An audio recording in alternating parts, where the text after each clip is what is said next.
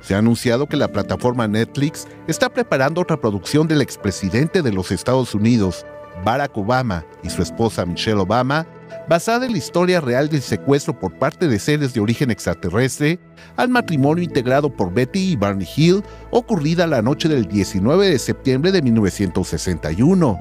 Dicha cinta será nombrada como White Mountains o Montañas Blancas en alusión a la localidad donde ocurrió la abducción, en la zona rural de New Hampshire, en Nueva Inglaterra, Estados Unidos. Sin duda, una noticia que ha llamado la atención ya que esta sería la primera vez que un expresidente de la Unión Americana se muestra interesado en divulgar una historia de las mejor documentadas en torno al tema de los secuestros extraterrestres.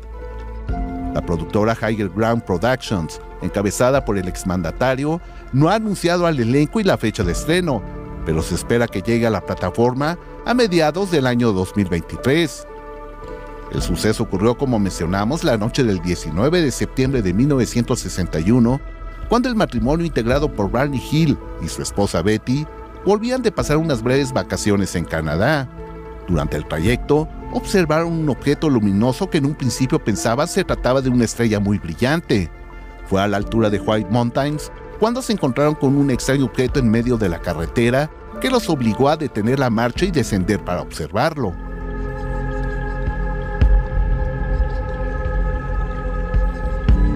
En el interior se encontraban seres que parecían observarlos. Acto seguido, lo último que recordaron es que el objeto ya no se encontraba en el camino y que ya estaban a bordo de su automóvil. Más tarde tuvieron recurrentes pesadillas de este encuentro, por lo que decidieron buscar ayuda profesional. Fue el doctor Benjamin Simon, experto en psiquiatría, quien logró recuperar dos horas perdidas que los Hill no recordaban de esa misteriosa noche.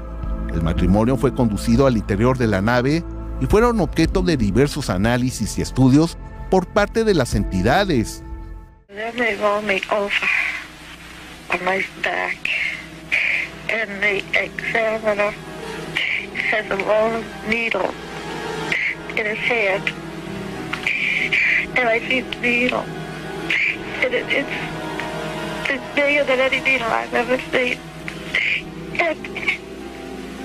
I asked him what he's going to do with it.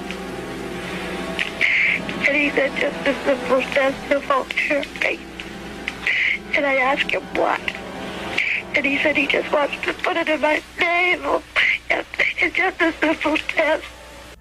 Sin duda, este se trata de uno de los mejores casos de toda la historia y que hoy, a 61 años de distancia, está en manos de la productora del expresidente Barack Obama, quien durante su mandato, en diversas entrevistas siempre se mostró abierto a la posibilidad de la visita extraterrestre a nuestro mundo.